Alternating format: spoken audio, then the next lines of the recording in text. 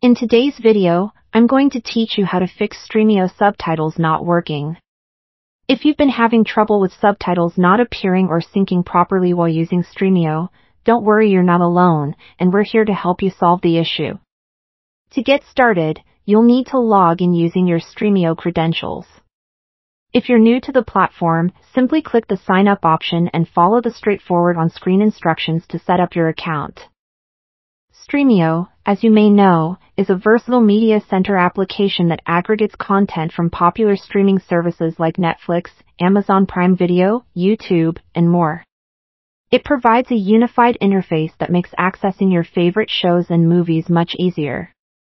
However, there are times when you might play an episode and the subtitles don't work as expected.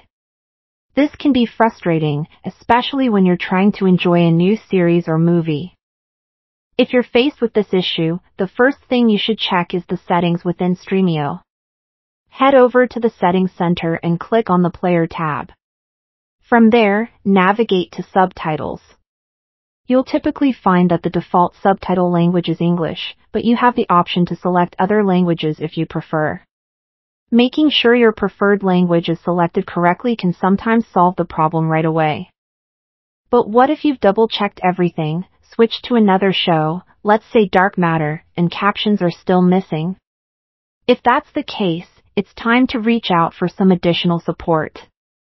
Visit Stremio's official customer support center. Here, you will find a section dedicated to subtitles titled Everything You Need to Know About Subtitles.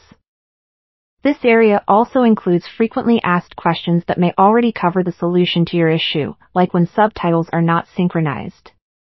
If the FAQ section doesn't resolve the problem, don't hesitate to click on Submit a Ticket. Providing specific details can make a huge difference in how quickly and effectively your problem is addressed. When submitting a ticket, make sure to fill in all necessary details about your concern.